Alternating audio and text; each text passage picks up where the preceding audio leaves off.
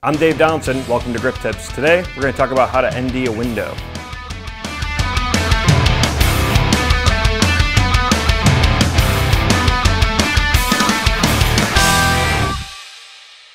Okay, so first things first, what is ND? Uh, basically, ND stands for neutral density. Uh, it's kind of the equivalent of what you would put on a camera. Uh, most of you guys out there would probably know this by uh, the filter that we normally use. Um, usually we put this on the front of a DSLR. Sometimes it's a box shape and we'll put it on the front of a camera. Uh, well, instead of doing that today, we're actually learning how to put it on a window in a couple of different ways. Now, before I go any further, uh, this is scrap ND that I got.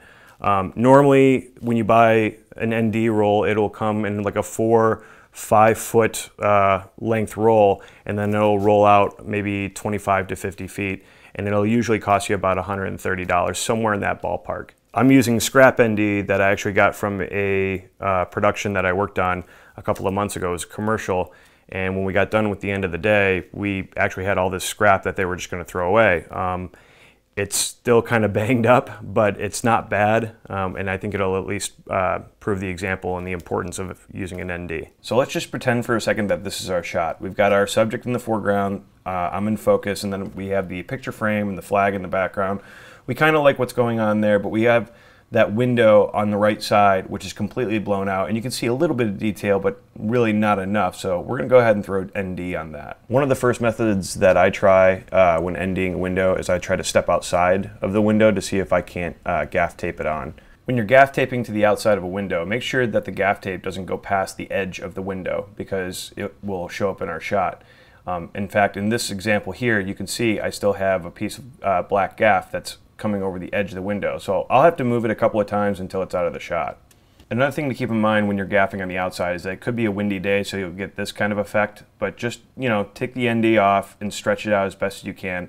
Um, and usually that will help with the wind. I've done this about 30 or 40 times, and even on a slightly windy day, you tend to not really notice it on the inside. Another way that you can actually put ND on the window is on the inside, you could use uh, snot tape, like I have here. Uh, it's basically like a double-sided sticky tape.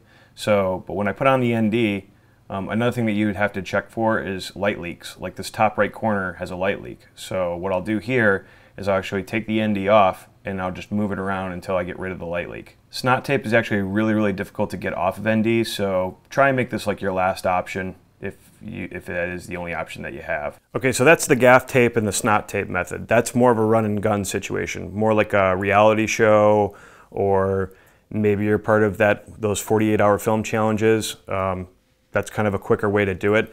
Um, however, if you're on a bigger Hollywood budget, let's say you got hired in with some sort of Marvel movie that would have come out or something like that, um, that production will actually have set time for you to go to a, a, location and actually ND the windows the correct way, which is with Windex and a squeegee. And now I'm going to show you how to do that. So this is just cleaning the window for this portion, um, you know, just with a squeegee and Windex or paper towel. You could use that too. Um, and then what we're going to do is spray it again with Windex and take our neutral density filter and put it right on top of it. Um, you don't need any tape because it's basically just going to stick right to it. Uh, but then we'll spray it again with some Windex and then we're going to take the squeegee and run it across the entire length of the ND, corner to corner, all the way up and down. Try and squeeze as much Windex out of the ND, both on top and underneath, as much as possible. Then when you're done with that, you're going to take a razor blade and you're just going to basically cut out the frame of the entire window. And there you go. We're all done. Well, sort of. You see, the detail is kind of messed up because we have all these little bubbles and stuff, and some of them will go away because of the sun, but a lot of them are just because of dirt particles that the squeegee didn't get rid of the first time around. So these are just like little tiny specks of dust or dirt or whatever that probably got attached to the glass somehow. We're going to get rid of it using this straight blade uh, that you can find at like uh, Home Depot for like three bucks. Um, and I find that the best way to do this is with some Windex and just start scraping the uh, wet area. When you're done with that, wipe away with a paper towel, and there you have it. It's all gone. We do have this little spot here, but that's on the other side of the window, and that won't mess up our ND. Then when you've taken care of that, it's basically the exact same process. Clean the window, put on the ND, spray the ND, squeegee the ND, there you have it. Before, after. You see, we brought in a lot more detail. Now, even though no audience is actually going to be looking out this window, they would definitely be looking at it if it was still looking like this because it's just overexposed. But now that we actually brought it back in, looks this looks a lot more appealing. You know, it's not as eye-catching, but I think you know a big rule in film is subtlety. The way that we had it before, much much better. So let's say that you already decided that you were going to go out and buy uh, a couple of rolls of ND. Um, and you don't really know which ones to buy. Um, I know that there's different um, stops of ND that are out there, but the two most common that I run into all the time are 0.9 and 1.2. That's, that's pretty much all you need.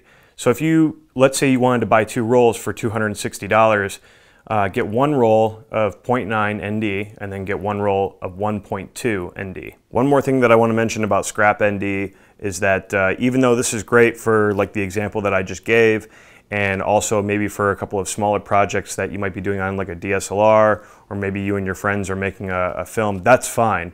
Um, but if you're on a bigger Hollywood budget or even just a short film budget, you should be using a brand new ND because it looks 10 times better. And actually, when you apply ND, nobody should be able to tell the difference between that and regular glass.